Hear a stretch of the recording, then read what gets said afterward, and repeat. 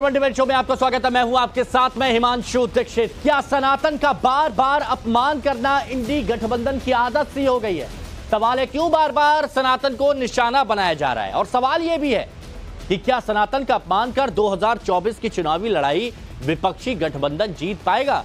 एक बार फिर डीएमके की ओर से सनातन के खिलाफ विवादित बयानबाजी की गई। जीएमके सांसद सेंथिल कुमार ने बीजेपी की जीत के बहाने सनातन और हिंदी भाषी राज्यों पर निशाना साधा। हालाँकि विवाद बढ़ने पर सेंथिल कुमार ने अपने बयान पर सफ़ाई दी, लेकिन सनातन के खिलाफ बयान पर बीजेपी, कांग्रेस और इंडी गठबंधन पर हमलावर है। और आज इसी पर चर्चा करेंगे, लेकिन उससे पहले रिपोर्ट आपको दिखा देते हैं।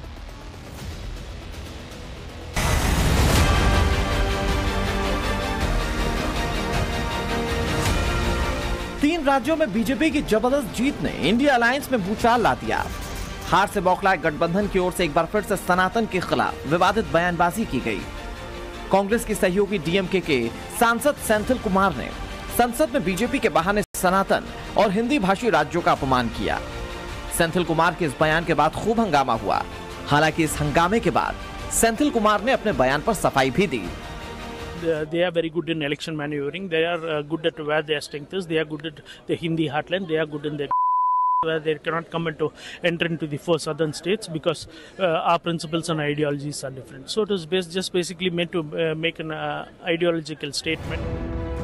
सेंथिल ने अपने विवादित बयान पर माफ़ी मांग ली है लेकिन बीजेपी ने इस बयान के बाद कांग्रेस और इंडी गठबंधन पर देश को बांटने का आरोप लगाते हुए निशाना साधा इंडी गठबंधन के लोगों ने जिनको घमंडिया गठबंधन कहा गया है उनका घमंड सिर चढ़कर बोल रहा है और मैं तो ये कहूँगा, ऐसी क्या मजबूरी है कि कांग्रेस का डीएमके के साथ रहना ज़रूरी है? अगर डीएमके ने एक बार नहीं बार बार ये बयान दिए हैं तो क्या मजबूरी है राहुल गांधी, सोनिया गांधी जी की और कांग्रेस की कि इनके साथ रहना ज़रूरी है? देश को स्पष्ट करें। आखिरकार ये सीधे तौर पर स्पष्ट होता है कि ये इन दोनों ने दोनों ने मिस्टर राहुल जी और सोनिया जी ने सीधे तौर पर आशीर्वाद दिया है अपने गठबंधन के नेताओं को देश को तोड़ने का जो बीज बोना है उसके लिए। और ये भारत में क्षेत्रवाद और जातिवाद का बीज बोने के लिए आए हैं। भारत के टुकड़े टुकड़े की सोच को आगे बढ़ाने के लिए आए हैं। और श्रीमान राहुल गांधी जी और सोनिया गांधी जी ने अपना नेतृत्व देने का काम इस सोच को किया है। चाहे वो जेएनयू में जाकर हो या इंडी गठबंधन के इस सोच को जो देश को टुकड़े टुकड़े करने की रखती है अपमानित करने की रखती है सनातन धर्म को नीचा दिखाने की करती है और गौ माता का अपमान करने की करती है। सेंथिल के विवादित बयान के बाद कांग्रेस के भीतर से भी आवाज़ उठी। कांग्रेस नेता अधीर रंजन चौधरी ने इसे सेंथिल का निजी बयान बता दिया। तो कांग्रेस नेता आचार्य प्रमोद कृष्णम ने अपने ही अंदाज में जोरदार अटैक किया। नेताओं की अगर यही हरकतें रहीं और सनातन धर्म के खिलाफ इसी तरह की बकवास वो करते रहे तो बीजेपी का परचम लहरा जाएगा। इससे पहले आचार्य प्रमोद कृष्णम ने तीन राज्यों में हार को लेकर बयान दिया था और कहा था कि यह सनातन का श्राप है। ये वही डीएमके है जिसके मुख्यमंत्री के बेटे ने सनातन धर्म को डेंगू, मलेरिया जैसी बीमारी बता दिया था और विधानसभा चुनावों में ये मुद्दा खूब उठा था। तो सवाल यह है कि क्या सेंथिल की सफ़ाई के पीछे अब कांग्रेस की नई रणनीति है? क्या राहुल गांधी ने सेंथिल से माफ़ी मंगवाई है? क्या सनातन का अपमान करने पर इंडिया अलायंस में कांग्रेस रोक लगवाएगी? सबसे बड़ा सवाल ये कि क्या सनातन को गाली देकर विपक्ष 2024 जीत पाएगा? ब्यूरो रिपोर्ट, टाइम्स नाउ, नव भारत। तो रिपोर्ट आप देख चुके हैं, जो मेहमान हमारे साथ हैं, उनसे हम आपको मिलवाते हैं। राकेश त्रिपाठी जी, बीजेपी प्रवक्ता हमारे साथ में इस चर्चा में जुड़े हुए हैं। अवधेश कुमार जी वरिष्ठ पत्रकार हैं, स्वामी चक्रपाणी महाराज धर्मगुरु, वरुण पुरोहित जी कांग्रेस की तरफ़ से हमारे साथ और तौसीफ अहमद खान साहब, राजनीतिक विश्लेषक हमारे साथ जुड़े हुए सबसे बात करेंगे, लेकिन उससे पहले एक बड़ी खबर आपको बता दें, सेंथिल कुमार के बयान में संसद में हंगामा जारी है। केंद्रीय मंत्री पीयूष गोयल ने माफ़ी की मांग की है कि भैया माफ़ी मांगिए।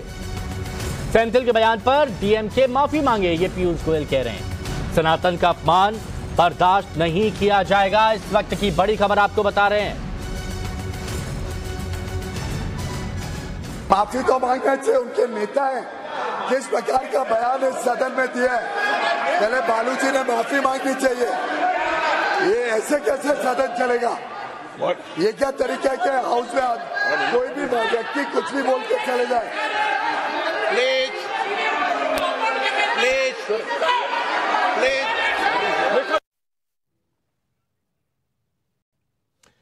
Varun Purohit ji क्या है ये? मतलब इतने राज्यों में जो कुछ हुआ रिज़ल्ट आया क्या ये उसका आफ्टर इफ़ेक्ट है या फिर कुछ और है? इस तरह की बयानबाजी क्यों?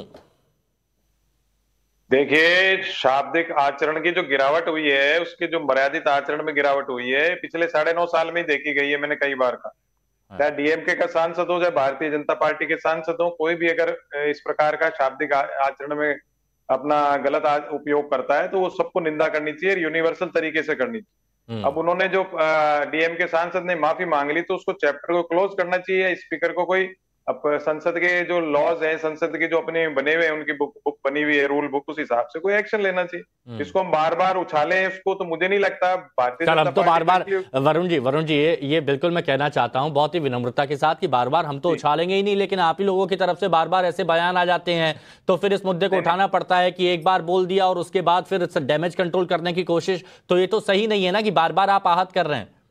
नहीं हिमांशु जी आप सही कह रहे हो। मैं आपके लिए नहीं कह रहा हूँ मैं बीजेपी के लिए कह रहा हूँ। आपके लिए आपका तो काम है। हाँ। कोई भी मैं भी गलत बोलूँ तो उसको आपको आपका टोकना उस पे आप जो भी करो आपका काम है। साहब ये तो करना चाहिए लोकतंत्र को जनता की आवाज़ को आगे बढ़ाने के लिए। मैं तो मीडिया को सल्यूट करता हूँ चाहे हमारे पक्ष में हो चाहे विपक्ष में मीडिया का काम है। हाँ। देखिए मैं कह रहा हूँ जिस सांसद ने अपनी माफ़ी मांग ली उसके बाद उसको संसद में जैसे भी दिखा रहे हैं तो सत्ता पक्ष से बार बार संसद के लिए अभी मैंने देखा आपने क्लिप दिखाई तो स्पीकर भी कह रहे हैं भाई बैठ जाइए बैठ जाइए सुन नहीं रहे मंत्री होकर के। सुननी चाहिए आप अपनी कोई बात है तो आज क्योंकि संसद चल रही है सबसे बड़ा हमारा डेमोक्रेटिक फोरम चल रहा है चर्चा का तो उस स्पीकर को अपना बात करें स्पीकर को जो भी रूल बुक है पार्लियामेंट की उस हिसाब से उसके खिलाफ कुछ अच्छा, राकेश जी। संज्ञान मिले। राकेश जी वरुण जी ये कह रहे हैं कि भैया जब माफ़ी मांग ली है तो फिर क्यों बार बार बीजेपी इस मुद्दे को उठा रही है? और भी काम है वो काम करिए आप लोग इस मुद्दे को पकड़े हुए हैं बेवजह। देखिए मानसू जी, अगर किसी ने पहली बार कोई गलती की हो तो निश्चित तौर पर गलती की भूल चूक समाधान किया जा सकता है। माफ़ी मांगने का अवसर उत्पन्न हो सकता है। लेकिन कोई अगर हैबिचुअल ऑफेंडर हो उसकी मनसा ही इस प्रकार की हो कि कैसे देश को कभी जाति के नाम पर विभाजित करिए, कभी मज़हब के नाम पर विभाजित करिए, कभी भाषा के नाम पर विभाजित करिए, कभी क्षेत्र के नाम पर विभाजित करिए, ये देश को तोड़ने का लगातार एक जो षड्यंत्र हो रहा है यह स्वीकार नहीं किया जा सकता है। यह एक लंबी रणनीति, एक लंबे षड्यंत्र का हिस्सा है। ये कोई आकस्मिक दे दिया गया ऐसा बयान नहीं है।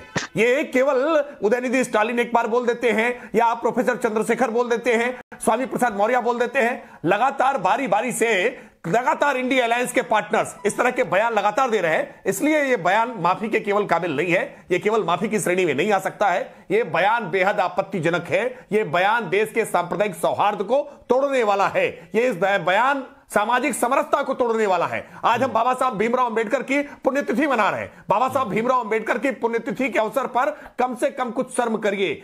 तौबा करिए प्रायश्चित करिए और शपथ लीजिए कि हम आने वाले समय में कभी भी इस प्रकार का कोई बयान ज़ीरो टॉलरेंस रखेंगे। अगर किसी ने इस तरह का बयान दिया पार्टी से बाहर का रास्ता दिखाएँगे पार्टी से बाहर का रास्ता नहीं दिखाते मौन होकर के समर्थन करते हैं किंतु परंतु लगाते हैं आपने भी तो ऐसा कहा था उसने भी तो ऐसा कहा था तब तो कुछ तो नहीं हुआ था। तो- तो ये रहे। लेबोरेटरी करना बंद करिए ऐसे बयानों पर ज़ीरो टॉलरेंस रखिए कठोरता से कार्रवाई करिए तब ऐसे बयान बयान टॉलरेबल है। विदुड़ी जी का बयान टॉलरेबल है।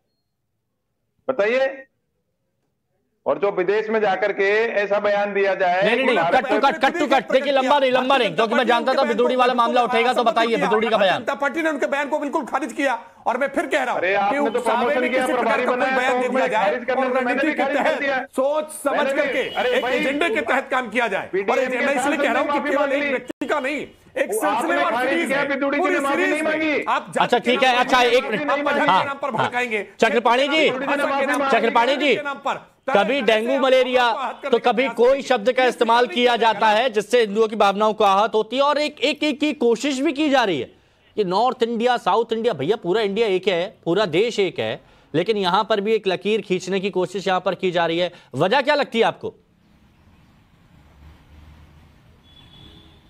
हिमांशु जी देखिए पूरा देश कभी एक था अखंड भारत था। लेकिन 14 अगस्त उन्नीस को सत्ता के लिए, सत्ता के लोभ में हमारे देश का विभाजन करा दिया गया। यानी आज़ादी के एक दिन पहले ही 15 अगस्त उन्नीस को आज़ाद हुआ देश और 14 अगस्त उन्नीस को ही देश विभाजित करा दिया गया। सिर्फ़ सत्ता प्राप्ति के लिए कांग्रेस ने किया। इसके बाद आप देखिए, वर्तमान में जब देख रहे कि भगवा तीन तीन प्रदेशों में लहरा गया तो अब अब जो है पूरब, पश्चिम, उत्तर, दक्षिण क्षेत्रवाद करके, साउथ को अलग, उत्तर को अलग करके कहीं ना कहीं हमें लगता है, देश विभाजन की तरफ़ जो है ये जानबूझ के विचारधारा तैयार इंडिया गठबंधन के द्वारा कांग्रेस के नेतृत्व में किया जा रहा है, जो बहुत ही आपत्तिजनक है। या जो गौमूत्र गौ की बात कर रहे हैं, अरे भाई, हमें तो गर्व है, हमें तो गर्व है, तुम्हें शर्म होगी तो शर्म करो। लेकिन पूरे जो गाँव पूरे विश्व की माँ है, उस पर प्रकार से टिप्पणी करके सनातन के खिलाफ टिप्पणी करके और उसमें क्षेत्र दिखा देना कि जी ये तो उत्तर भारत के राज्य है और ये ये गौमूत्र वाले हैं। यानी आप क्या साबित हाँ, करना चाहते हाँ, हो कि हाँ, आप जो है अलग एक राष्ट्र हो? क्या ये तो पूरा देश की बात है? तो ये कहीं ना कहीं भावना सिर्फ़ सनातन का अपमानित करके ये कहीं ना कहीं क्षेत्र को बांटना चाहते हैं। कहीं ना कहीं विभाजनकारी ये नीति अपना रही है कांग्रेस और पूरी इंडिया गठबंधन। और अच्छा तौसीफ जी क्यों क्यों? क्या इंडी गठबंधन? देखिए। देखिए कि चंद्रशेखर और जगदानंद बोलते एक मिनट एक मिनट। तौसीफ भाई तौसीफ भाई ये बात बताइएगा हमने ये चीज़ देखी थी कि जब एम के स्टालिन का बयान आया था उसके बाद ये मुद्दा पुरजोर तरीके से जनता के बीच में पार्टियों ने उठाया था लेकर पहुँचे भी थे। हो सकता है कि उसका रिज़ल्ट भी देखने को मिला और उसके बाद फिर से एक ऐसा बयान। ये क्या रणनीति क्या रोड मैप बनाया जा रहा है चौबीस का?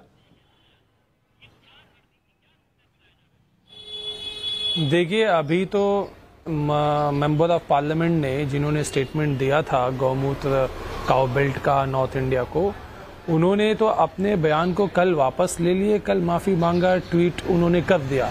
अब इसके बाद अगर बीजेपी चाहे तो वो कोई भी उचित कार्रवाई सदन में अगर उन्हें लगता अनपार्लियामेंट्री लैंग्वेज है तो वो स्पीकर के सामने क्योंकि वो बहुमत में है वो सरकार चला रहे वो तो कर ही सकते। वो हंगामा क्यों कर रहे हैं?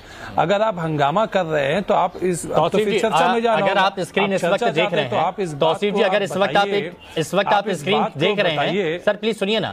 अगर आप स्क्रीन देख रहे हैं तो यहाँ पर विपक्षी गठबंधन को हिंदुत्व से चिड़िए क्वेश्चन मार्क को लेकर वो बयान भी हम चला रहे हैं कि किस किस के क्या क्या बयान आए और उसमें एक से एक बड़े नेता विपक्षी पार्टियों के हैं जिन्होंने सनातन पर सवाल उठाए हैं और एक के बाद एक उठाए हैं। तो ये एक बार नहीं हुआ एक बार में माफ़ी अच्छा, मांगी तो मुझे कंप्लीट करने हाँ। दीजिए। मैं मैं मैं मेरी बात कंप्लीट कर लूँ। मैं मेरी बात कंप्लीट करूँ। आज जो जिस कॉन्टेक्स्ट में कल ये बात कही गई थी उस बात पे आप चर्चा कीजिए। अगर आप चाहते हैं कि इस पे चर्चा हो तो चर्चा होनी चाहिए। आप देखिए कि साध्वी प्रज्ञा ने कहा कि गौमूत्र से कैंसर को जो है इलाज होता है। यूनियन हेल्थ मिनिस्टर रहे, बीजेपी के हेल्थ मिनिस्टर, उन्होंने कहा कि गौमूत्र से कोरोना वायरस का इलाज होता है। तो ये इस तरह की बातें करना क्या हमारे देश के जो मेडिकल साइंस कम्युनिटी है जो डॉक्टर्स है मेडिकल स्टूडेंट्स है क्या आप उनका इंसल्ट कर रहे हैं या नहीं कर रहे? मोदी जी आपको आपको अगर उससे कोई वैक्सीन कुछ बन रही है तो आपको वहाँ पर इंसल्ट लग रहा है। कोरोना वायरस लेकिन नॉर्थ इंडिया की नॉर्थ इंडिया की अगर आप कंपेयर कर रहे हैं इतनी आबादी को कंपेयर कर रहे हैं वो आपको नहीं लग रहा। क्या कोरोना वायरस नहीं आप अपनी अपनी बात पर यहाँ पर अड़े गए और इतने सारी जो बयानबाजी यहाँ पर सुनवाई कोई कूड़ा कचरा बोल रहा है कोई डेंगू मलेरिया से कंपेयर कर रहा है ये रणनीति क्या ये बताइए या कोई लक्ष्य लेकर चल रहे हैं? तो आप आप बोलना क्या चाहते हैं? आप नहीं ये चौबीस ये ये साउथ और नॉर्थ के बीच में जो लकीर है उसको लंबा करने की कोशिश है क्या वोट बैंक के लिए? दुनिया भर को देता है। कि ये लकीर और लकीर और गहरी करने की कोशिश है क्या? गौमूत्र से करेंगे जो मुझे ये बताइए इस लकीर को और गहरा करने की कोशिश है क्या आपकी? साध्वी प्रज्ञा जो मेंबर ऑफ़ पार्लियामेंट है यही चीज़ तो जनता कहती है कि आप लोग कभी सुधरते नहीं है। आती है नॉर्थ इंडिया का वो हिस्सा है वो कहती अब देखिए क्या रणनीति है? कांग्रेस की नई रणनीति क्या है? सैंतिल की सफ़ाई के पीछे विधानसभा चुनावों में भी ये मुद्दा बहुत उठा था सनातन धर्म को डेंगू मलेरिया जैसी बीमारी बोल दिया था। अब चलिए माफ़ी तो यहाँ पर मांग ली है लेकिन ये कर क्या रहे एनडी गठबंधन वाले? नहीं नहीं, माफ़ी आप समझते हैं कि एक सांसद लोकसभा में, राज्यसभा में बिना सोचे समझे, बिना तैयारी के खड़ा होकर भाषण देता है, जब उसको देना है तो वो बजाबता लिखते हैं, वो टाइप होता है और बहुत सोच समझ के तात्कालिक प्रतिक्रिया हंगामा अलग चीज़ होती है। लेकिन अगर कोई खड़ा हो रहा है तो तो सोच समझ के दे रहा है और इसके बावजूद दे रहा है कि तमिलनाडु के ही एक मंत्री के सनातन के बयान पर दूसरे मंत्री द्वारा समर्थन करने पर देश में कितना बड़ा विवाद खड़ा हुआ है। इसके बावजूद अगर दे रहा है तो बहुत सोच समझ के ये दिया हुआ बयान है।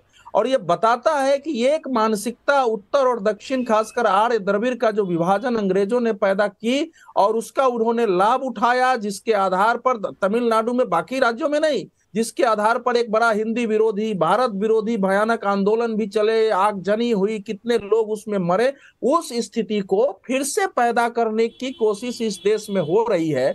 लेकिन उनको ये लगता है कि देश में आरएसएस, बीजेपी या दूसरे हिंदू संगठनों ने लंबे समय से काम करके जो हिंदुत्व का एक स्वरूप पेश किया है, जिसको कि पहले सांप्रदायिक फांसीवादी कहा जाता था।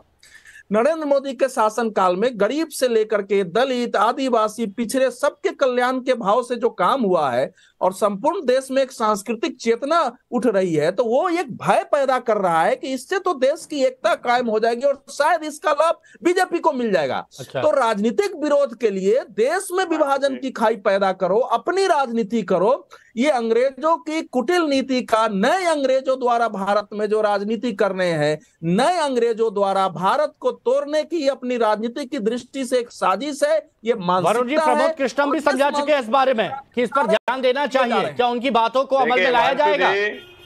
हिमांशु जी अभी इन्होंने मान लिया का जो सांसद आता है तैयारी करके आता है तो बिदुड़ी जी ने भी तैयारी करके दिया होगा ना बयान? आपका तैयारी पर अटका होगा। हुआ है। हाँ। नहीं मैं आपको बता रहा हूँ ना खाऊ अरे यूनिवर्सल बात के नहीं अटका के मैंने तो निंदा करी कोई भी बयान देता है इस प्रकार का शाब्दिक आचरण का उल्लंघन करता है मर्यादित आचरण का उल्लंघन करता है तो गलत है। ये तो खुद ही कह रहे हैं गौ माता की बात करते हैं हिमांशु जी। जाएगा। इनसे मैंने पहले भी नहीं मुझे ये बताइए सनातन पर प्रहार क्या लगातार होता रहेगा? प्रमोद कृष्णन जैसे आपके कांग्रेस के नेता हैं वो भी ये सवाल उठा रहे हैं कि ऐसा क्यों हो रहा है? इसी का ही श्राप लगेगा।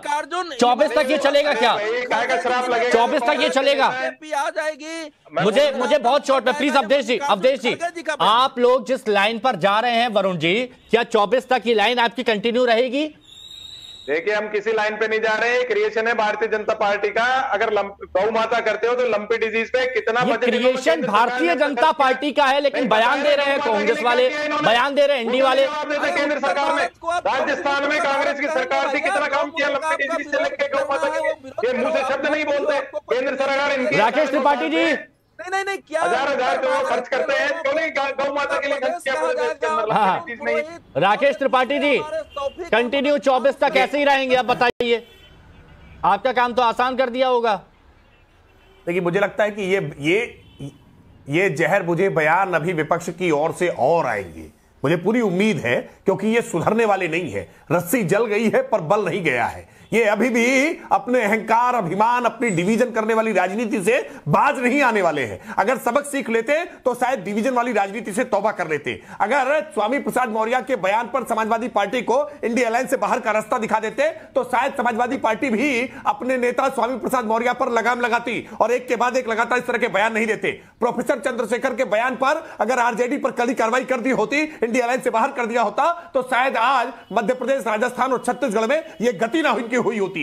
ये जितना सनातन का अपमान करेंगे ये जितना जाति और मज़हब में समाज को बांटने का प्रयास करेंगे ये जितना इस देश में विभाजनकारी राजनीति को आगे बढ़ाएँगे उतना ही इनकी पार्टी सबको साथ में लेकर चलना भी है मज़बूत भी करना है वोट बैंक को अपने आधार की लड़ाई भी लड़नी है अस्तित्व की लड़ाई भी लड़नी है और ऐसे बयानों से किनारा भी करना है कैसे हो पाएगा? बहुत मुश्किल सा लगता है। बहुत बहुत शुक्रिया आप सभी का हमारे साथ जुड़ने के लिए इस चर्चा में शामिल होने के लिए।